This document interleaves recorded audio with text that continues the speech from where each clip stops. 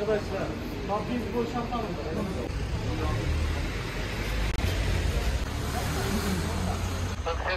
Merkez 4814 1306 Sosnoğlu efendim e, herhangi